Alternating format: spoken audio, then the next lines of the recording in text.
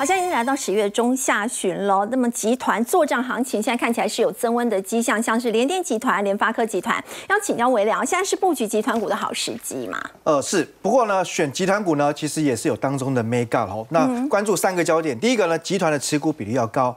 那持有越多啊，其实拉抬呢才会产生所谓的一个最大重效。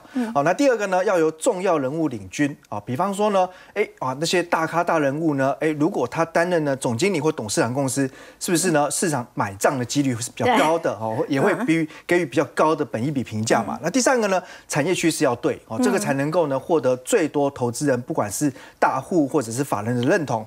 那我们讲哦，最近的联家军哦，那广泛来看呢，包括联电跟联发科集团。哦，我觉得呢，有一些公司哦，其实你从现行的走势上面来看，哎，它已经就是哎越垫越高，呈现这种多头的态势了。那其中呢，我觉得联电集团哦，重点可能不在呢大家长。而是旗下的像联阳、联捷、原相、智源系统，重点不在联电身上。对，好，但是联发科不一样哦。哦，我觉得联发科的本尊也很有戏。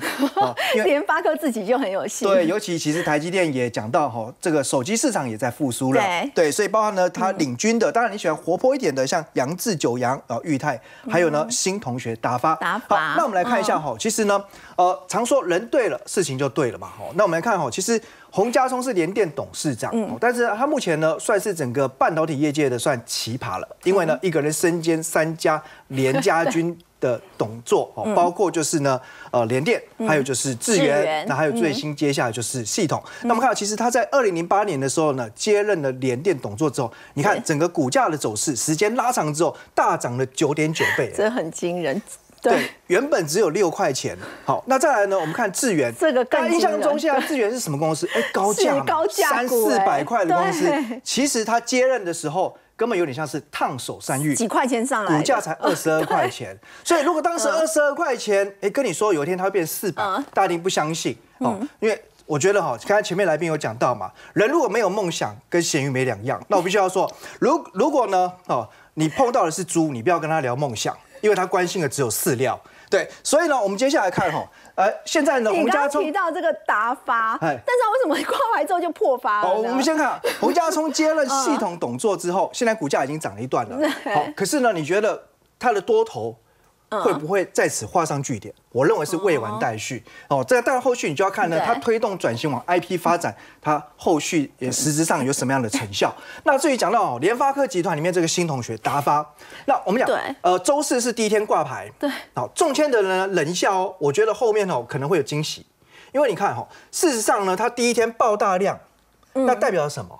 原始股东他他当然可能会卖出，可是呢，过去没有买的人。进场的意愿也非常的强烈。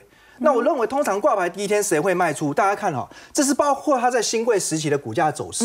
所以呢，以前在新贵所投资的人，全部都不会赚钱，嗯，对不对？那没有赚钱状况之下，你不会杀低卖，所以只有一种人会卖，长线股东，他的成原始的成本可能只有。也许三十块、二十块，甚至十块钱，所以他随便怎么卖都赚。哦。但是呢，新股挂牌前面几天呢，筹码消化完毕之后，我觉得后面就有机会往上，所以它不是基本面的问题。那达发事实上呢，联发科的持股就高达了七十六趴以上了。嗯，所以我们讲集团持股比率很高，它绝对不容许它失败。那况且呢，它目前在 AI 物联网跟网通基础建设的部分哦，其实有很多领域都是在全球高居前三名的，包括就是真无线蓝牙耳机部分，它是苹果的供应商，所以我认为。因为这家公司呢，大家不妨哦去追踪一下，筹码消化完毕之后，会不会呢？它收复这个当时的平台区？